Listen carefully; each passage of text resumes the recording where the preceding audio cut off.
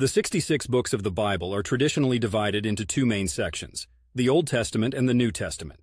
Here's a rundown of the books in the order typically found in Protestant Bibles. Old Testament 1, Genesis 2, Exodus 3, Leviticus 4, Numbers 5, Deuteronomy 6, Joshua 7, Judges 8, Ruth 9, 1 Samuel 10, 2 Samuel 11, 1 Kings 12, 2 Kings 13, 1 Chronicles 14, 2 Chronicles 15, Ezra 16, Nehemiah 17, Esther 18, Job 19, Psalms 20, Proverbs 21, Ecclesiastes 22, Song of Solomon 23, Isaiah 24, Jeremiah 25, Lamentations 26, Ezekiel 27, Daniel 28, Hosea 29, Joel 30, Amos 31, Obadiah 32, Jonah 33, Micah 34, Nahum 35, Habakkuk 36, Zephaniah 37, Haggai 38, Zechariah 39, Malachi New Testament 1, Matthew 2, Mark 3, Luke 4, John 5, Acts, Acts of the Apostles 6,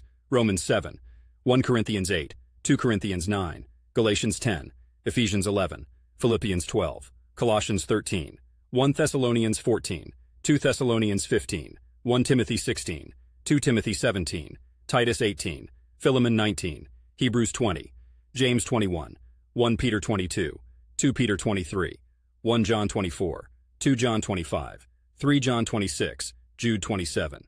Revelation.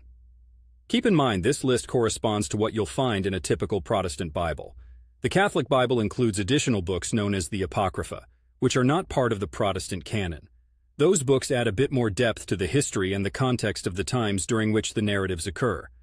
Understanding these books, whether through reading, study, or listening to them in audio format while resting under the green shades of Portland's famous parks, can offer insights into ancient wisdom, traditions, and the underpinnings of Western civilization's values and moral frameworks. Each book contributes to the overall tapestry of the biblical narrative, offering a blend of historical records, poetry, prophecies, and teachings vital to Judeo-Christian beliefs.